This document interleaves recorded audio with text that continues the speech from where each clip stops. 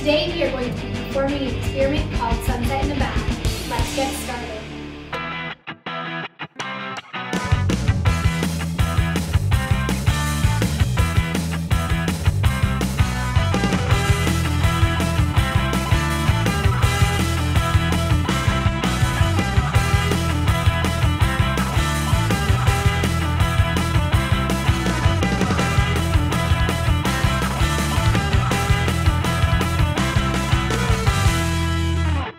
Need a few ingredients for this experiment. First, you're going to need 100 milliliters of water.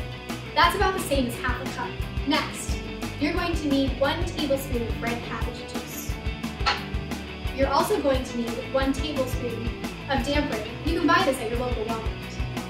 And finally, you're going to need one tablespoon of baking soda. And of course, the star of our show, our bag. First, add the water to your bag. Next, add one tablespoon of the red cabbage juice. Close it up tight and shake it up so it really mixes up. And it turns blue. How can something that's red and something that's clear turn blue? The answer is a chemical reaction. In a chemical reaction, two sub or more substances combine to form something totally new. Next, we're going to add two tablespoons of DampRid. Close up again and shake it up. And it turns color again. That shows you that another chemical reaction is taking. If you put your hand on the bottom of the bag, you can feel it getting warm. That means that the chemical reaction is giving off heat and energy. Next, you're going to add two tablespoons of baking soda. After this next step, you want to close the bag up really tight.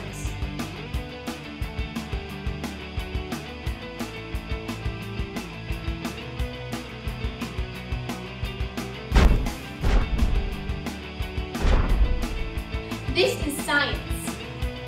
Explosions are cool, but knowing why things explode make them even cooler. No matter who you are, where you're from, or what you can do, science is for you. Feel free to perform this experiment at home and send me your findings. I'd love to hear all about them. Have fun, and remember, science and all STEM careers are for you.